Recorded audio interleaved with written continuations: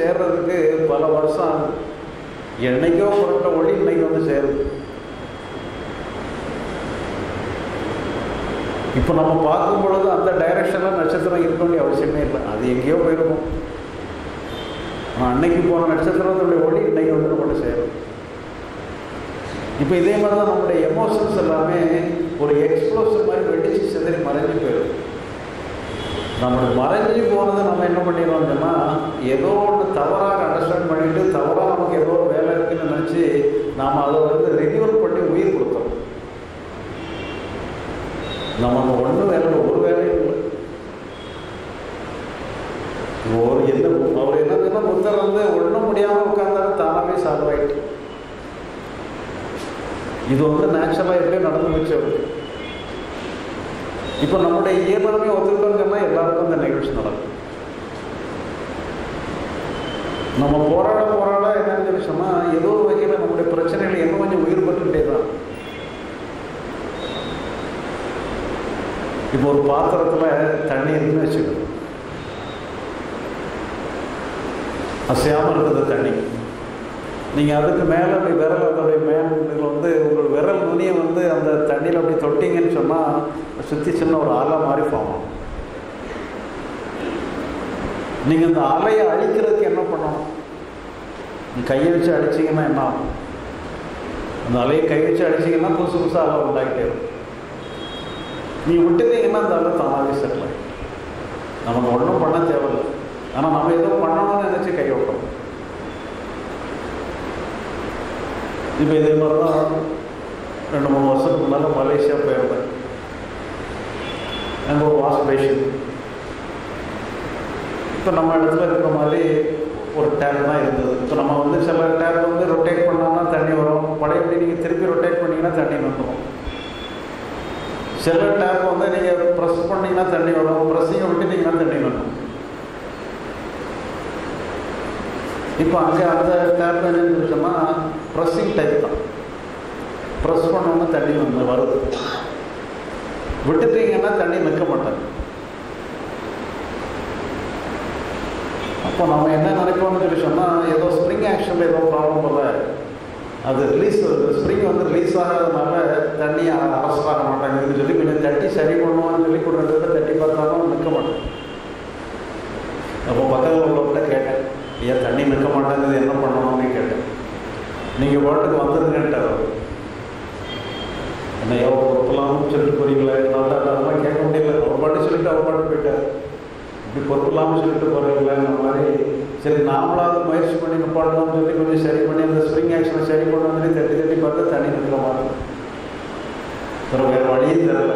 சரி நாமளும் போகணும்னு போனோம்னா கொஞ்சம் தண்ணி போனோம்னா தண்ணி தாராவே நின்றுச்சு ஆனால் அதை எப்படி டிசைன் பண்ணியிருக்காங்கன்னு சொல்லி சொன்னால் நீங்கள் ஒரு தடவை ப்ரெஸ் பண்ணிவிட்டு நீங்கள் பாட்டுக்கு கழுவிட்டு போயிட்டே இருக்கலாம். அது ரெண்டு மூணு வினாடி தண்ணி வரும். அதுக்கப்புறம் தானாகவே நன்றும் அதை அப்படியே டிசைன் பண்ணியிருக்கிறாங்க. நீங்கள் பழைய பொருளை தட்டி சரி பண்ணீங்கன்னா அது எதுவும் கொஞ்சம் ரினியூவல் ஆகிட்டே போயிடும். இந்த வகையில் நம்ம நம்முடைய எமோஷனை பொறுத்தளவு இந்த வேலையெல்லாம் நம்ம பார்த்துக்கணும் நம்ம உணர்ச்சிகளை சரி பண்ணணும்னு நினச்சி அது உயிர் கொடுத்துட்டே இப்போ ஒரு ஆறு ஒன்று ஓடிட்டு இருக்கு. ஒரு ஆறு ஓடிட்டு இருக்கு. நீங்கள் என்ன பண்ணீங்கன்னா குறுக்க கை விடுறீங்க நீங்கள் நெல்லுன்னு சொல்லி கை விட்டாலும் சரி அவர் ஓடுதுன்னு சொல்லி கை விட்டாலும் சரி ஆற்றுக்கு குறுக்க கை விட்டீங்கன்னு சொன்னால் உங்கள் கையை சுற்றி வந்து தண்ணி சொல்ல ஆரம்பிச்சு சரி தண்ணி வந்து கிளாக் வைஸில் சுற்றுது நம்ம கையை வந்து ஆன்டி கிளாக் வைஸில் சுழல் வந்து ரிவால்வ் பண்ணணும்னு சொன்னால் அந்த சுடல் போயிடணும்னா போயிடும் நீங்கள் கையை எடுத்தீங்கன்னா சுழல் தான் ரிலீஸ் ஆகிடும் நாம் என்ன பண்ணிட்டு இருக்கோம்னா ஏதோ ஒன்று பண்ணி நம்ம சரி பண்ணுறதுக்காக முயற்சியில் இறங்கியது இதனால அந்த பிரச்சனைகள் வந்து கண்டினியூ காரணமே ஆகும். இப்போ இந்த இந்த எல்லா ஞானிகளுமே வந்து ஏதோ ஒரு சந்தர்ப்பத்தில் அவங்க அறியாமல் இந்த ஒரு இடத்துக்கு வாங்க. எப்படியோ கண்டுபிடிச்சிடலாம் ஒன்றும் கண்டுபிடிக்கல. நம்மளால முடியாதுங்கிற நிலைக்கு வந்துடுறாங்க அவ்வளோ அவங்களுடைய இயலாமே ஒத்துக்கிற மாதிரி ஏதோ ஒரு சூழ்நிலையில் மாட்டிக்கிடுறாங்க கண்டுபிடிச்சிடுறாங்க ரமணருக்கு வந்து மரண பயம் ஏற்படுது அவர் அதை எதிர்த்து போராடல. சரி மரணம் வந்து அப்படியே ஏற்றுக்கணும் என்ன பண்ணணும் ஒன்றும் பண்ண முடியாதுன்னு சொல்லி அப்படியே ஏற்றுக்கிறாரு அந்த பயமுடையோட போய் அவர் என்ன கண்டுபிடிச்சாலே அவருக்கு தெரியாது. ஆனால் கண்டுபிடிச்சது இதுதான். இப்போ இதே மாதிரி தான் அரவிந்தருடைய ஒரு அவருக்கு எப்படி ஞானம் இருக்காதுங்கிற சம்பந்தமாக ஒரு ஒரு சின்ன கட்டுரை படிக்கிறது சந்தர்ப்பம் கிடைச்சது அவருக்கு தான் என்னன்னு சொன்னால் எத்தனையோ பயிற்சிகள் பண்ணியிருக்காரு எத்தனையோ யோகா பண்ணியிருக்காரு எவ்வளவோ பண்ணியிருக்காரு எல்லாருக்கும் மாதிரி அவருக்கு நிறைய அனுபவங்கள்லாம் கிடைச்சது ஆனால் அந்த அனுபவங்களால் அவருக்கு எந்த தீர்வும் ரெகுலேஷனோ எதுவுமே கிடைக்கல கடைசியில் எல்லா ஒரு சலிப்பாகி ஒன்றும் வேண்டாம்னு சொல்லி அந்த அளவுக்கு ஒரு ஒரு வருஷம் ஒன்றும் பண்ணாத சும்மா உட்காந்துட்டார் திடீர்னு அவருக்கு ஒரு மாற்றம் ஏற்படும். அப்போ அவருக்கு எப்படி ஏற்படுது ஏன் ஏற்படுதுன்னு அவருக்கு தெரியல. எந்த காரணமே புரியல. ஏன்னா அவர் ஒன்றும் பண்ணல. எதுவுமே பண்ணாமல் அந்த மாற்றம் ஏற்படும். அப்போ அந்த சந்தர்ப்பத்தில் அவருக்கு ஒரு குருநாதர் இருக்கிறார் அவர்கிட்ட போய் கேட்குறாரு. எனக்கு இப்போ ஒரு மாற்றம் ஏற்பட்டிருக்கு. நான் ஒன்றுமே பண்ணலை. எனக்கு இப்போ ஒரு மாற்றம் ஏற்பட்டிருக்கு.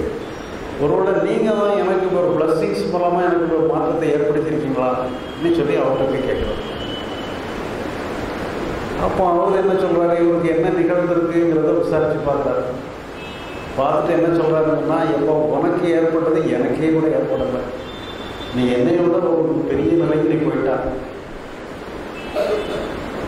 எனக்கு ஏற்படாத ஒன்று உனக்கு எப்படிப்பா நம்ம வந்து ப்ளஸ் பண்ண முடியும்?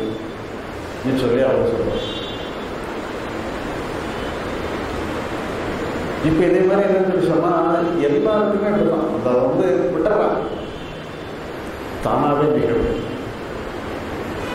இப்போ இது வந்து அந்த காலத்தில் வந்து என்னன்னு சொன்னால் சரணாகதின்னு சொல்லுவாங்க சும்மாயின்னு சொல்லுவாங்க. அது என்ன மீனிங்னு சொல்லி யாருக்குமே தெரியாது. ஏதோ சொல்கிறாங்கன்னு சொல்லி நம்ம எடுத்துக்கிறோம் அது உண்மையில இதுதான். உங்களுடைய எல்லா பொருட்களையும் விட்ட நிலையில் அது தானாக நிகழும். நம்ம மனசு வந்து நீங்கள் முயற்சி பண்ணாமல் பண்ணாமல் மனசு இயங்கும். நாம் தேடிக்கிட்டே இருக்கிற வரைக்கும் ஒரு தேடுதலோடு இயங்குற மனசு வந்து தேடுதலே இல்லாமல் இயங்கும் பொழுது அது நேச்சுரலாக இயங்கும். அப்படி நேச்சுரலாக இயங்குற மனசில் வந்து லிபரேஷனோட இயங்குதுன்னு அர்த்தம். அது விடுதலை அடைஞ்சது. எந்த நிர்பந்தமும் இல்லாதபடி சுதந்திரமாக இயங்கு அந்த மனசு வந்து நேச்சுரலாக இயங்குறது தான் லிபரேஷன் சொல்லுவோம் முக்தி மோட்சங்கிறதுலாம் நம்ம மனசோட சார்ந்தது மனசு வந்து நேச்சுரலாக சுயமாக இயங்குறது தான் லிபரேஷன் முக்தி மோட்சம். வேறு ஒன்றுமே கிடையாது. இப்போ அது இயங்குறதுக்கு நம்ம என்ன பண்ணணும்னு சொல்லி சொன்னால் நம்ம புரிஞ்சுக்கணும். நம்ம புரிஞ்சால் தான் அது நே- சுதந்திரமாக இயங்கும். அது புரியலன்னு சொன்னால் நம்ம தொந்தரவு பண்ணி டிஸ்டர்ப் பண்ணிக்கிட்டே இருக்கோம் இப்போ நாம் என்ன பண்ணிடலாம்னு சொன்னால் சரியாக அண்டர்ஸ்டாண்ட் பண்ணாததுனால நம்முடைய லிபரேஷனை நம்முடைய முக்தியை நம்முடைய மோட்சத்தை நாம் டிஸ்டர்ப் பண்ணிக்கிட்டே இருக்கோம் நம்ம சரியாக புரிஞ்சுக்கிட்டோம்னு சொன்னால் நாம் டிஸ்டர்ப் பண்ணுறது இருக்கோம் இதுதான் நிகழ்வு. எல்லாருக்குமே அந்த லிபரேஷன் ஸ்டேட்டுக்கு மைண்டு போயிடுது. அந்த லிபரேஷன் ஸ்டேட்டில் வந்து அந்த அந்த மைண்டை வந்து லிபரேட்டடாக இயங்கிச்சுன்னு சொன்னால் அங்கே எந்த பிரச்சனையுமே தங்க முடியாது. ஒரு ஆறு ஓடிக்கிட்டு இருந்ததுன்னு சொல்லி சொன்னால் அந்த ஆற்றுல பாசி படரவே படறது. அது வந்து எல்லா அழுக்களையும் அடிச்சுட்டு போயிடும். ஒரு தண்ணி தேங்கி நின்றுதுன்னு சொல்லி சொன்னால் நான் சுத்தமான தண்ணியாக இருந்தாலும் கூட அதில் எல்லா அடுக்குகளும் படமும் பாசி படமும் ஒரு சாக்கடை கூட நீங்கள் மைல் கணக்கில் ஓட விட்டீங்கன்னு சொன்னால் சுத்தமாயிடும். இப்போ இதுதான் நம்மளுடைய மைண்டே வந்து தன்னுடைய தனித்தனி பியூரிஃபை பண்ணி எல்லா பிரச்சனையும் அதை அடிச்சுட்டு போயிடும். ஒன்றும் பண்ண வேண்டியது அது தானாகவே சால்வ் ஆயிடும். நமக்கு அங்கே வேலையே கிடையாது. நம்ம அறிவுக்கு எங்கே வேலை இருக்குன்னு சொன்னால் நம்முடைய செய்த செயல்களோட வேலை இருக்குது நம்ம எக்ஸ்டர்னல் ஆக்ஷனை பொறுத்தளவில் புற செயல்களை பொறுத்தளவில் உலகியலை பொறுத்தளவில் நமக்கு அகத்தை பொறுத்தல நமக்கு வேலையே கிடையாது. இப்போ அந்த காலத்தில் வேற மாதிரி எது சொல்லுவாங்க. பாரமார்த்திய சத்தியம் விவகாரிய சத்தியம்னு சொல்லுவாங்க. விவகாரம்னா உலகத்தில் வாழும்பொழுது நம்ம உலகத்தை மாதிரி எல்லாத்தையும் பிரித்து பிரித்து பார்த்து அவன் வேற நான் வேறன்னு சொல்லி பிரித்து புரிஞ்சுக்கணும். அகத்தை பொறுத்தல சர்வம் பிரம்மமயம் எல்லாமே பிரம்மஸ்வரூபம்னு சொல்லி எடுத்துக்கணுங்கிற மாதிரி அவங்க இப்படி பிரித்து பார்ப்பாங்க. இப்போ அதெல்லாம் நம்ம சுற்றி வளர்ச்சி எங்கேயோ அந்த இடத்துக்கு கொண்டு சேர்க்குறாங்க அவங்க வழியில் ஏதோ ஒன்று சொல்லியிருக்கிறாங்க எல்லாமே ஒரே நோக்கத்துக்காக சொல்லப்பட்டது. ஆனால் அது வந்து கொஞ்சம் அது என்ன கான்செப்டுங்கிறத புரிஞ்சுக்கிறது கொஞ்சம் கஷ்டம். ஆனால் எல்லாமே ப்ராக்டிக்கலாக பார்த்தான்னு சொன்னால் ஒரு சாதாரண உண்மை. நம்ம காலடியில் இருக்கக்கூடிய ஒரு சர்வசாதாரணமான உண்மை.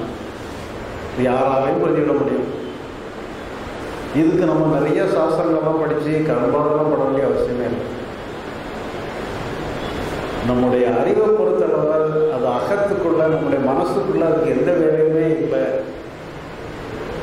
நம்ம அறிவை ப- நம்ம அகத்துக்கு முக உணர்ச்சிகளை சரி பண்ணுறதுக்கு அறிவை பயன்படுத்துறது தான் அஞ்ஞானம். அங்கே எந்த வேலையுமே இல்லைங்கிறத கண்டுபிடிக்கிறது தான் ஞானம்னு சொல்லி நம்ம புரிஞ்சுக்கிட்டோம்னு சொல்லி சொன்னால் எல்லாருமே அந்த நிலையை அடையலாம். ஆனால் இது வந்து நம்ம புரிதல் தான் ஏற்படும். ஒரு இன்டலெக்சுவல் அண்டர்ஸ்டாண்டிங் போகும் இது வந்து வேற டீப்பராக நம்ம இதெல்லாம் ஒன்றும் பண்ண முடியாது. இப்போ இதெல்லாம் வந்து என்னன்னு சொல்லி சொன்னால் நம்மளை ப்ரிப்பேர் பண்ணுறதுக்கு நிறைய பேர் என்னன்னு சொல்லி சொன்னால் இப்போ நம்ம வாழ்க்கையில் ஒரு சராசரி மனிதன் எடுத்துட்டோம்னு சொல்லி சொன்னால் பிரச்சனையானா என்ன பண்ணுவான் உடனே தண்ணி போடுறது பார்க்கணும் இல்லைன்னா சண்டை போட்டு தான் பிரச்சனையை தீர்க்கணும்னு பார்ப்போம். இப்போ நம்ம ஆன்மீக முயற்சிகளில் வரும் பொழுது நம்ம ஏதோ ஒரு வகையில் மெடிடேஷன் பண்ணி என்னதோ ஒன்று பண்ணி நம்ம பிரச்சனையிலிருந்து ஏதோ ஒரு வகையில் ஒரு தற்காலிகமான ஒரு ரெமெடி நமக்கு கிடைக்கிது. ஆனால் ஒரு லைஃப் ஸ்டைல் மாறி போயிடும் இன்னும் இந்த யோகா ப்ராசஸ் எல்லாம் வந்து நம்ம லைஃப் ஸ்டைலை மாற்றுறதுக்கான ஒரு அவசரம். தான் அப்புறம் கடைசியில் என்னன்னா ஒரு இன்டலெக்சுவலான அண்டர்ஸ்டாண்டிங் போகும். நம்ம என்ன செய்யணும் என்ன செய்யக்கூடாது? நம்ம அகத்தை பொறுத்தளவில் நம்ம அக உணர்ச்சிகளை பொறுத்தளவு நமக்கு எந்த வேலையுமே இல்லைன்னு சொல்லி நம்ம கண்டுபிடிச்சிட்டா போகும் ஏன்னா ஞானிகள் வந்து என்னன்னு சொல்லி சொன்னால் அவங்க எப்படி அவங்க அறியாமல் அந்த இடத்துக்கு வந்திருக்கிறாங்க எப்படி வந்தோன்னே தெரியாமல் வந்தாங்க புத்தர் வந்து தெரிஞ்செல்லாம் அது பண்ணலை. அவர் அறியாமல் அந்த இடத்துக்கு வந்தார்.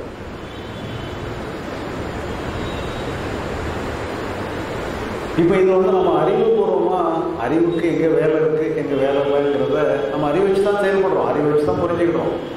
ஆனால் அந்த அறிவு வச்சு என்ன புரிஞ்சுக்கிட்டோம்னா அறிவுக்கு எங்கே வேலை இருக்குது எங்கே வேலை இல்லைன்னு புரிஞ்சுக்கிட்டோம். நம்ம அகத்தை பொறுத்த அளவில் அறிவுக்கு எந்த வேலையுமே கிடையாது. அங்கே நம்ம சும்மா தான் இருக்கணும்ங்கிறத புரிஞ்சுக்கிட்டோம்னு சொல்லி சொன்னால் எல்லாமே தானாகவே சரி. எல்லா ஞானிகளும் இந்த இடத்த கண்டுபிடிக்கிறாங்க. ஏதோ ஒரு வழியில் வந்துடுறாங்க. ஆனால் நம்ம அறிவுபூர்வமான நம்ம கண்ணை திறந்து நாம் அதை கண்டுபிடிச்சிக்கணும்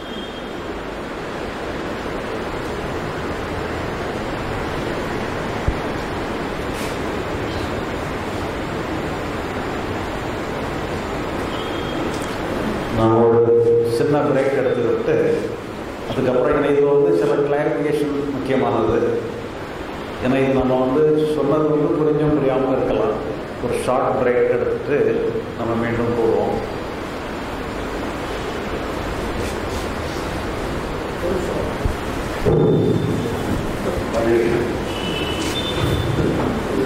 இப்போ ஒரு பதினைந்து நிமிட இடைவெளி ரிட்டர்ன் டீ காத்திருக்கு அது முடிச்சுட்டு வரும்போது இங்கே இந்த புஸ்தகம் பேப்பர் இருக்குது